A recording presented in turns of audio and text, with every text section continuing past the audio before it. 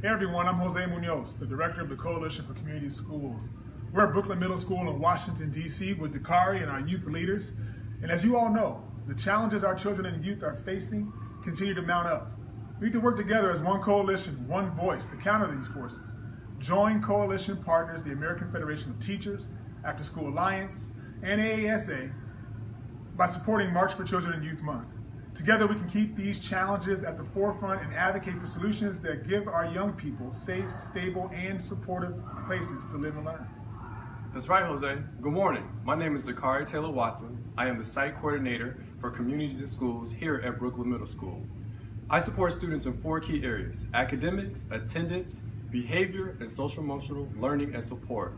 Please continue to support us to help our students succeed and excel not only in the classroom, but also in life.